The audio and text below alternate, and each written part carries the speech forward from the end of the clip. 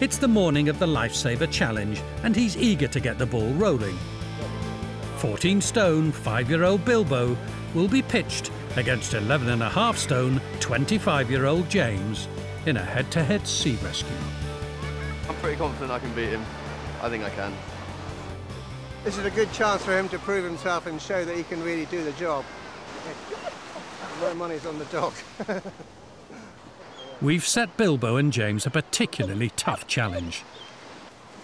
30 metres from shore, they must each rescue not one, but two casualties, lugging back a colossal weight of 23 stone each.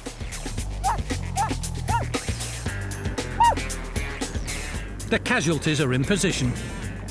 The contestants are on their marks. Get set. Go on, get it. Bilbo's off like a shot, leaving James for dust. James and Bilbo must manoeuvre the float in front of the casualties as quickly as possible. He'll swim round these casualties, draw that tube close to them, and when he feels the weight of them, pick it up. Yeah, it's a good boy. He'll turn round and head back to the beach then, just like he's doing now. Fantastic. Come on, sway. Billy, good boy. Come on. Bilbo's taken longer to position his float and has lost some ground to James. But Bilbo's instinct to pull casualties to safety kicks in. Hauling 23 stone with ease, Bilbo steams ahead. See the strength in him now, putting these people in is just enormous.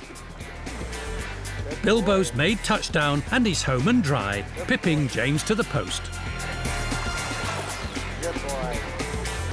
He's a lot quicker than I expected. It's really powerful in the sea. Um, yeah, he's, he's really good. Oh, it's sitting there. Oh, he's brilliant, yeah. You know, if like, he had multiple rescue, and even if it was a matter of him following another guard out and picking up another casualty, there's more chance of more people getting back to the beach safely. It'd be brilliant. Bilbo's proven he's got what it takes to do the job. He's got the brains and the brawn and that all important lifeguard ingredient, killer good looks.